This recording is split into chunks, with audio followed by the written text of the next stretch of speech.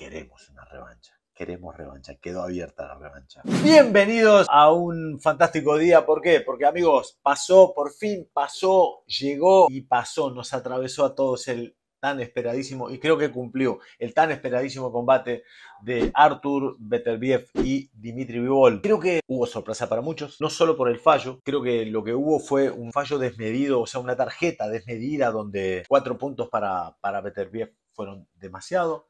Y es verdad, fue exagerada esa tarjeta, pero creo que el combate, el combate fue estuvo a la altura de lo que se esperaba. Unas circunstancias excepcionales. ¿Por qué? Porque, amigos, se está disputando por quién es el campeón indiscutido, quién tiene todos los cinturones. Y, y Beterbiev se quedó con ellos. Combatazo, peligro inminente, constante, todo el tiempo peligro por parte de Beterbiev. Mucho peligro porque tiene, sabemos que cada golpe de él puede ser definitorio, cada golpe de, de puede terminar con sus rivales, da igual a quien tenga enfrente Beterbiev siempre con su misma postura, con, con su boxeo desde el centro hacia adelante, con un boxeo de ataque. Voy a darle play al, combate, porque estoy viendo cómo entran, cómo entran arriba, entra primero Beterbiev con su cuerpo tan sólido, rocoso, fuerte, duro. Y ahí está entrando Vivol con su andar, con su absolutamente todo, más lleno de, vida, ¿no? Como con más alegría. No digo que sea triste Beterbiev, sino que tiene más alegría al andar Vivol. Porque claro, tiene su estilo boxístico y su estilo es totalmente opuesto totalmente opuesto a lo que es el, estilo de Arthur Beterbiev. Vivol con un combate en el que no podía fallar, no podía tener errores, no podía cometer ningún tipo de traspié porque cualquier cosita, cualquier error que pueda tener Vivol se podía ir al suelo. No tanto Beterbiev, sí que no tanto. Ahí ya comienza el combate. Este es un highlight pero es un highlight que está buenísimo. ¿Por qué? Porque está mostrando la actividad y está mostrando probablemente los mejores momentos de ambos boxeadores, los mejores momentos del combate. Vemos con una postura muy marcada, muy marcada, su nombre de ataque que intenta golpear y que intenta noquear en cada combinación Beterbiev. Con cada combinación sabemos que lastima, sabemos que noquea, sabemos que puede liquidar no por nada el récord no absoluto knockout de Beterbiev. Y Vivol con, con un estilo defensivo amparado en los desplazamientos y el traslado y amparado sobre todo en la inteligencia defensiva. Tuvo que desarrollar más que nunca su defensa. Fue un combate de muchísimo más peligro para Bivol este que incluso el que tuvo frente a Canelo Álvarez. Canelo Álvarez te puede superar técnicamente, te puede noquear, por supuesto, pero te puede superar técnicamente, pero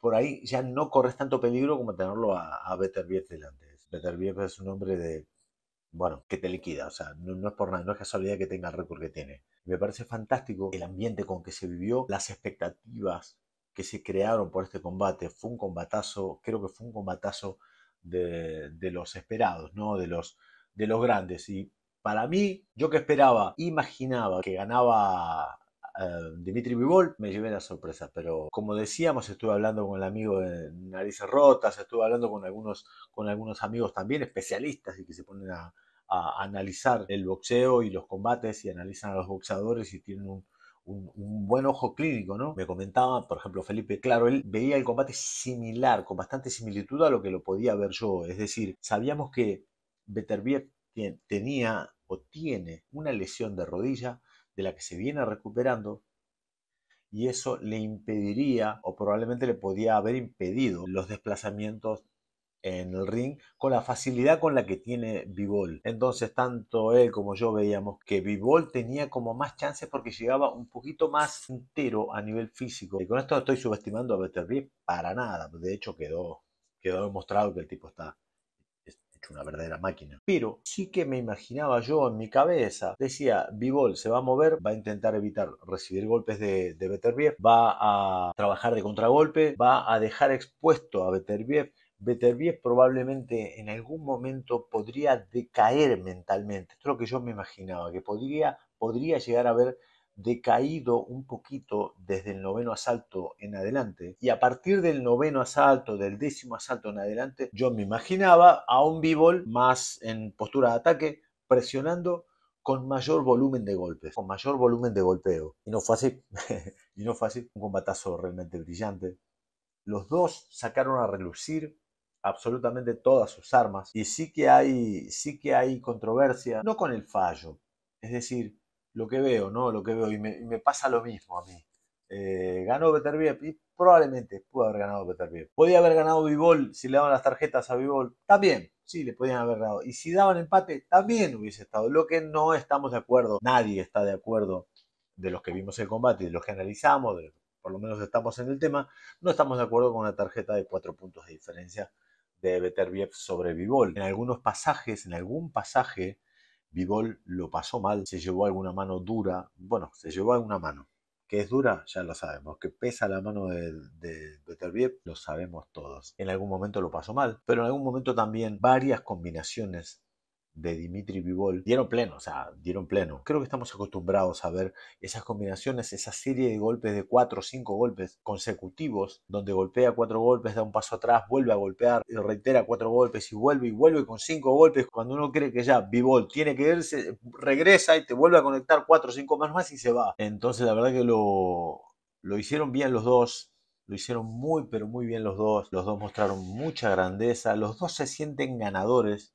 Ninguno de los dos se sienten perdedores, ninguno de los dos se siente derrotado y creo que queda abierta una revancha. Creo que todos los que pudimos ver este combate, todos los amantes del boxeo, todos los amantes del el estilo de Beterbiev o del estilo de Bivol, queremos una revancha. Queremos revancha, quedó abierta la revancha y es fantástica. ¿Por qué? Porque se están enfrentando dos boxeadores, probablemente estén entre los mejores del libra por libra. ¿En qué puesto? No lo sé, pero estarán por ahí. Entre, entre el 5 y el 15 están.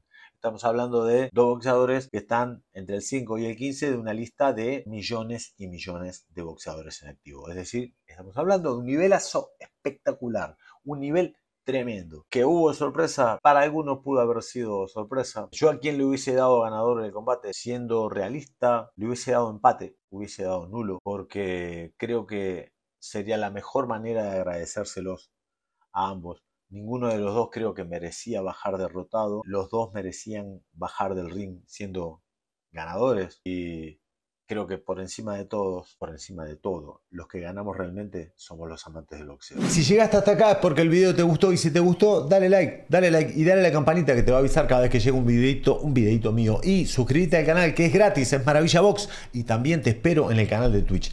Maravilla Martínez, ok, te espero.